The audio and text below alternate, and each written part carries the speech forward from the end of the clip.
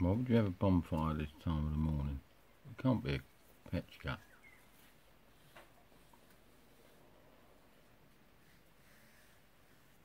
Maybe.